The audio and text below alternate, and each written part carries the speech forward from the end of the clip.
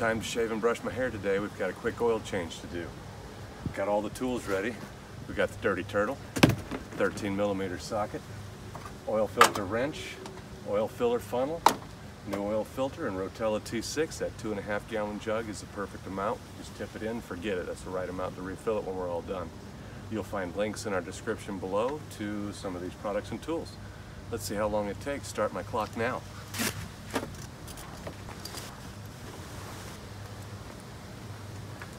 Pro tip, put lotion on your hands before you start and that oil will wash off a whole lot better when you're done.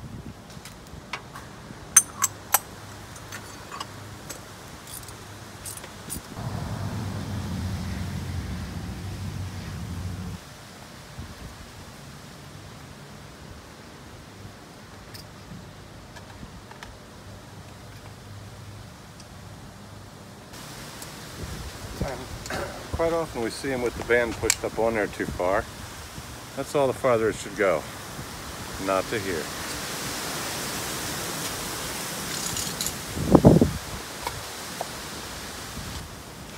Hand tighten only.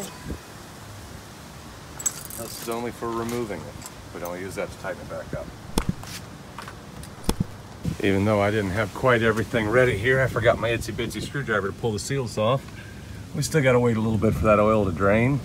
Maybe because I'm impatient, maybe because it's raining.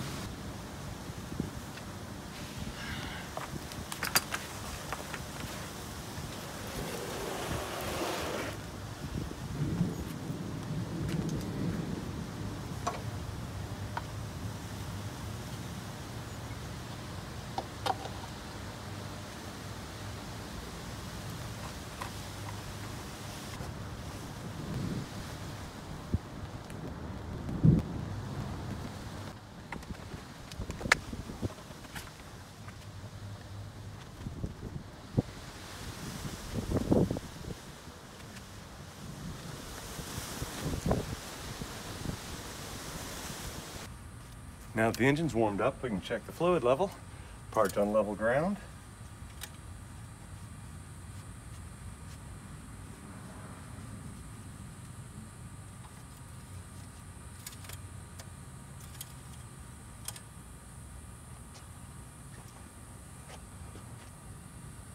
You see that two and a half gallon come to about right there, which to me is a perfect oil change.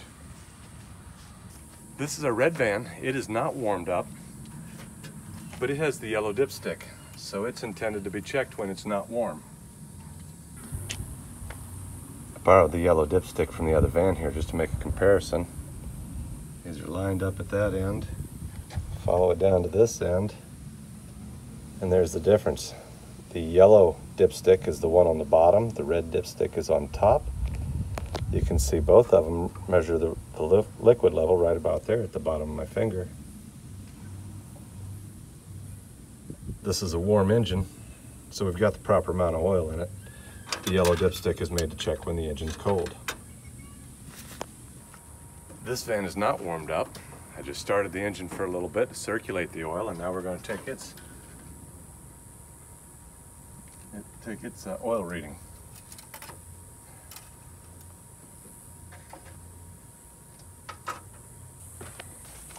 So again, we're going to line up the dipsticks.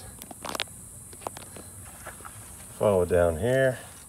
Obviously, it's reading the same depth.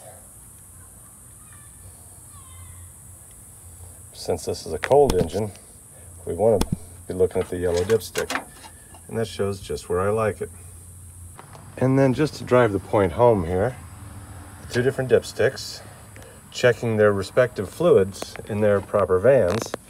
Bottom one here being red van that is not warmed engine at the moment and it's reading you know 75% through the full line. Top one being the one we just did an oil change on today.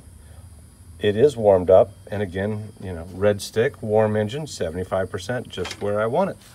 That's two and a half gallons in both of these vans. Yellow stick check it when the engine's cold but has been circulated. Red stick means check it when the engine's up to running temperature all right, so I forgot to reset the maintenance assist. I've got a big drive tomorrow morning. I know I'm going to forget it again, so I'm going to go ahead and do that now in the middle of the night. We're going to press the mile button until we get the little wrench. There it is. Turn the key on. Press the mileage two times. Turn the key off. Press and hold the mileage while we turn the key back on. Hold it.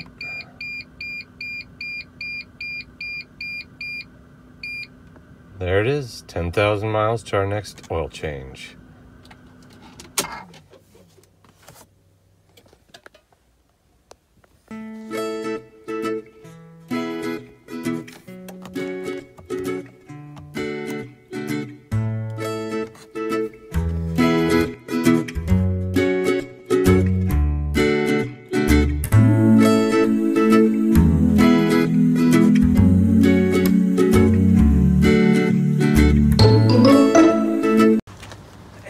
Ready to go back to Walmart. Tell them it didn't fit.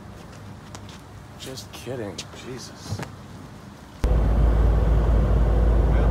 we're getting close now.